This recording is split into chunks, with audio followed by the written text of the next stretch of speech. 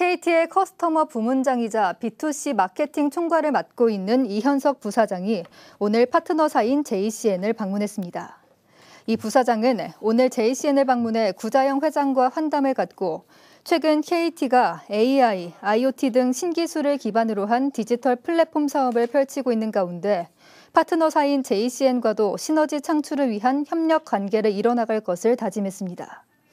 이현석 부사장은 앞으로도 KT의 파트너사인 JCN과의 협력을 바탕으로 기술 개발과 동반 성장을 위해 더욱 노력하겠다고 밝혔습니다.